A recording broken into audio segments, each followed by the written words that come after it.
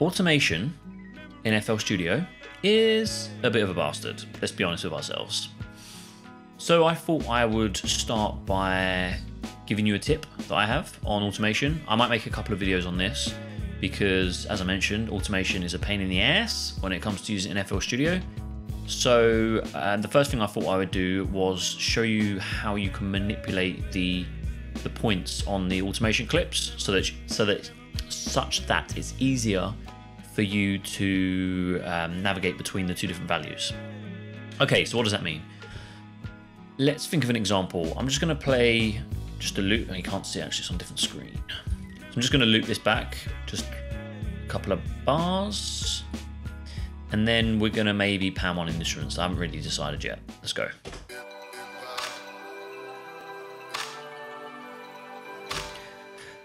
Okay, cool. So let's say we want to, um, let's say we want to automate the the ARP,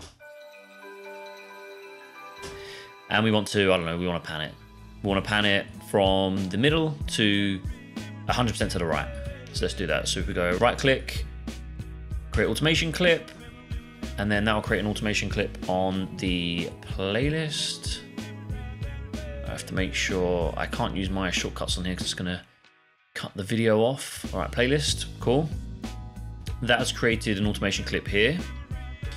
And as you can see, it kind of starts in the middle. It doesn't really make any sense. If you if you look at the top right here and you drag the point, it's a it's a percentage. Oh, I was pointing at the screen and it's a yeah. If you look just right here, it's just a percentage, which doesn't really mean anything to us. So what we want to do is we want to say, right, okay, I know that I want to go from 0 to 100% for right panning. So what you can do is if we go on to, this is going to be a pain. Okay, so let's right click here. Let's just reset that to zero. Right click and go copy value. You copy value, open the automation clip in the step sequencer and then paste the value on the minimum. So essentially that means that the minimum amount the panning can be is 0% centered.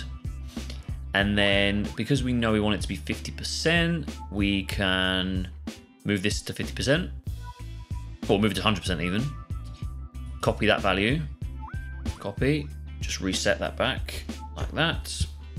And then go back to the automation clip, hit max, paste, there. So that means that the minimum it can be is zero centered and the maximum it can be is 100% to the right, which means then if I drag that all the way down and I put that all the way up, slowly move up to 100%. So let's just test that. Just look down here.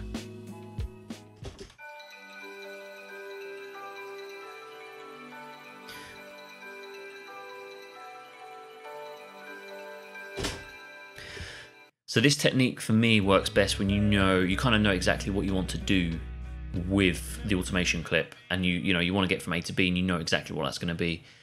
It saves you then having to faff about getting this to like the 50% mark to make sure it doesn't start panning to the left.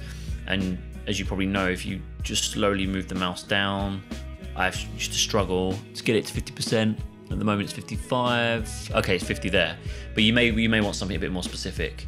So for me, makes automation much easier in FL Studio um, if you optimize the use of the min and max values in the automation clip here. Cool, I hope you enjoyed the video. Um, if you like this video, I might do some more automation tips because there are definitely a couple of other methods of improving how the automation works in FL Studio. And of course, please comment, like, and subscribe, and check out other videos on my channel for more tips in FL Studio, Bitwig, and many more. Thanks for watching. Peace!